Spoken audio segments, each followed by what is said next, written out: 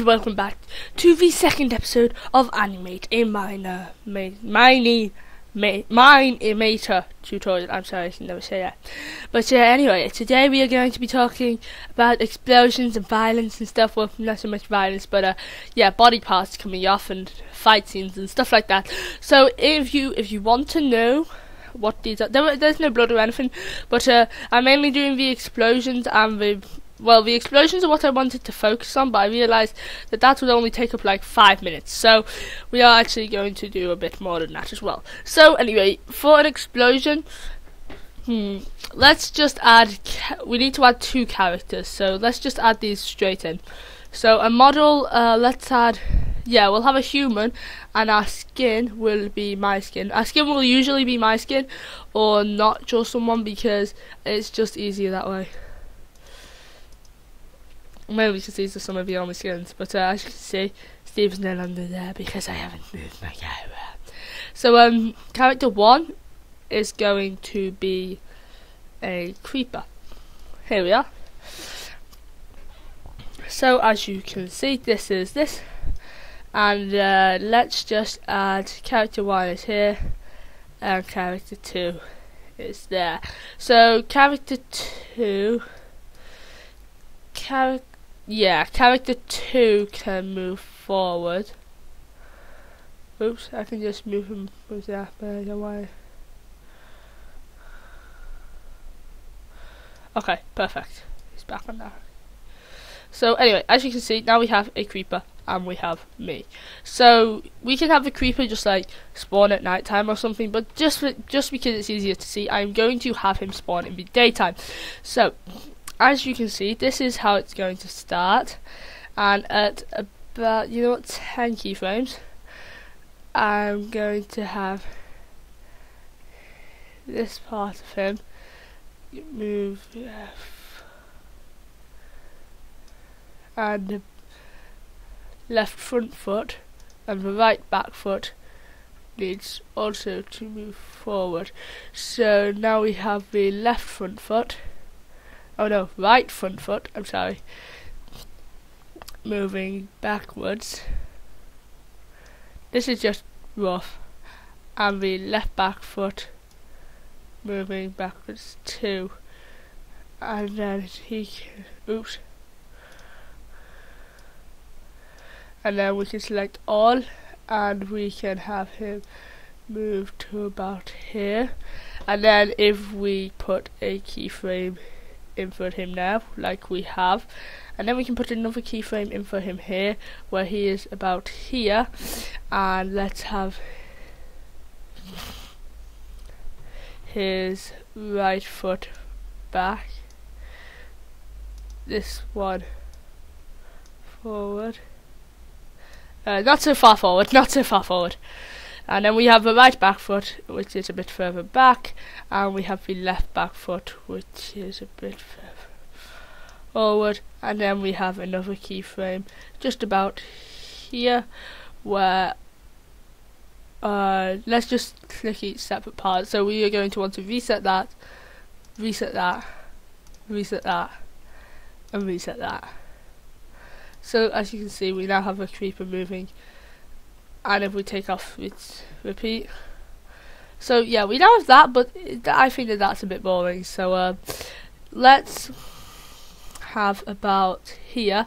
And if we select his body now then we can change that x axis and this will also move his head. Okay uh, I think that I could actually move him forward a bit. 210 I think I could actually move him forward a tiny bit Nope. All. And I think we can actually have them move a bit further forward. Let's see that now. Yeah, that seems slick enough. That seems slick enough. So, now if we go to this keyframe, and we go to this keyframe, and we have his body, and then we have the X rotation, to there. Because if he just blew up that would be a bit boring. So now we can change his body parts. And uh, let's we need his back foot. 94, yeah, 94. I don't want it to be perfect because if it was perfect it would look a bit off, but uh, now we can have that there.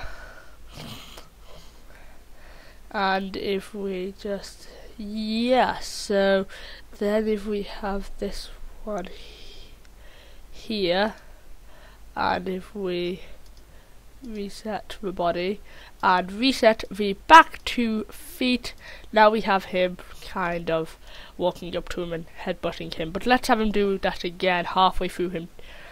Actually no we'll just have our character turn. Um, so after he headbutts him our character is going to have a frame there actually no he's going to have a frame there. And then by there because he's quite startled all is going to be rotated. All will be rotated.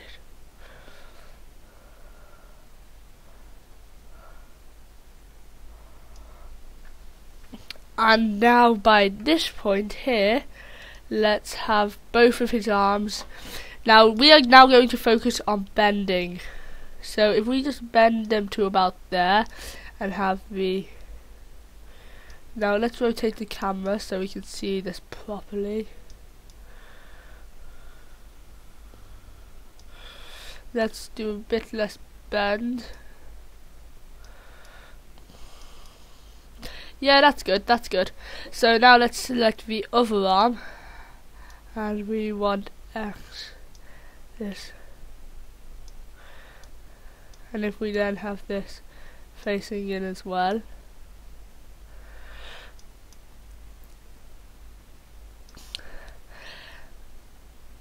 And then let's have his legs also bending. This is going to be a lot of focusing on a bit of bending as well. So, sorry, that didn't make sense, did I? So he's like going to be cowering, starting to cower because he has no armor on. So his all of him now can move down a bit. And then we can have another keyframe here which is his legs and they are they are fully bent. So about 50%. Let's have 46. 46 is good. And then his legs need to be a bit off, so about, you know what, no, they can be, yeah, 45, there we go. So yeah, they can be a bit off, they want to be a bit off, otherwise it looks a bit odd. But uh, now we shall select all of him, move him down into the ground, and have his body actually rotating. Nope, that's the wrong way to rotate it. Nope, again, wrong way.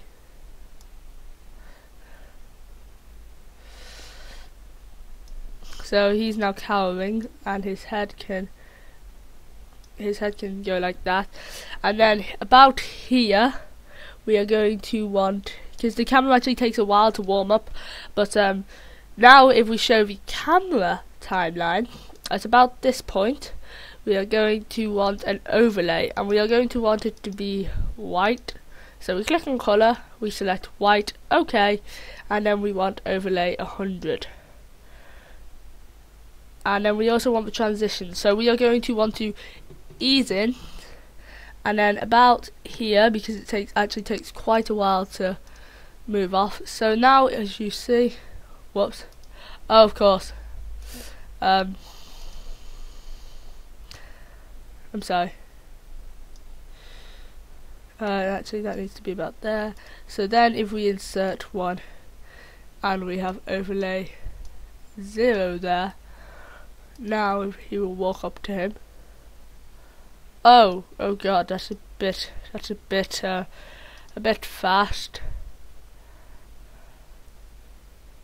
So let's just click that as instant. So repeat. Oh god damn it, I'm sorry, I'm sorry. No, something's going wrong here. Oh, I know, I know. There's one here and okay, so if we move that back, so about here we want that to be a tiny explosion. So about there. Okay yeah. This should work now. I'm sorry. I'm sorry I messed up there. And now, see, that, that kind of works. I'm sorry, uh, one sec, we need to go back, and then we need to insert another keyframe here, let's say, where the overlay is zero. And um, right about here, in the midst of the explosion, we want to turn off visibility for both of these guys. So now, as you will see, he walks up to him, he hits him, he explodes, and now they're gone. So yeah, that's pretty simple. But as I told you, uh, body parts can come off as well. So let's have him. No, we want this guy visible, and we want all to be reset. I said reset. Oh god damn it! Reset part. Reset. Reset part.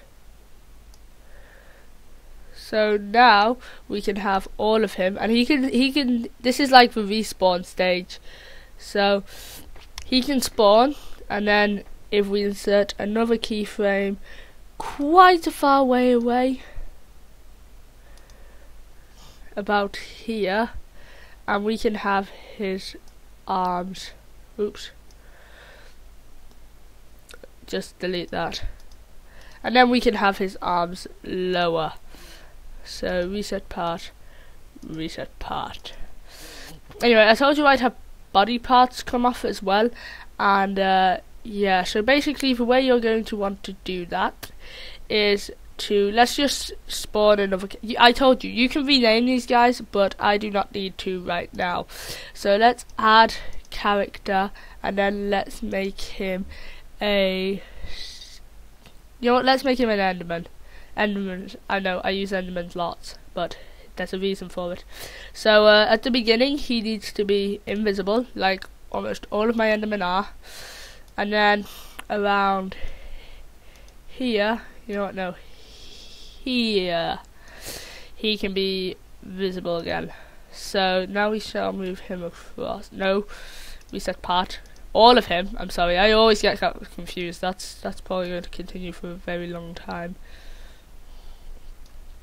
So now he's there. We can have his arms actually move separately. No, we need to have all of him move back a bit.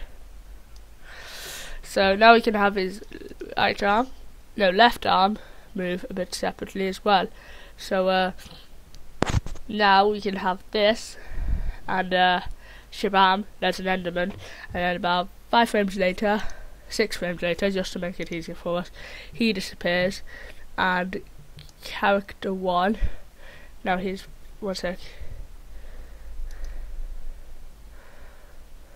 No, character two. Whoops. Why do I always? Oh yeah, because I usually add these guys first. So now character two. I'm going to now. If you click visible now, the entire of its body will become visible. So yeah, we can't have that. So uh, we just there's probably some better way to do this, but I'm just going to make his head disappear and you're going to want to change it to instant so basically like once that keyframe appears it immediately just changes so as you can see now he hits him he turns around. Ah! Okay. Oh god damn it what? What? What? No. No.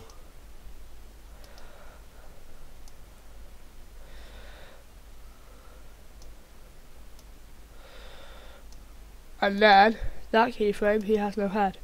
So why is that not working?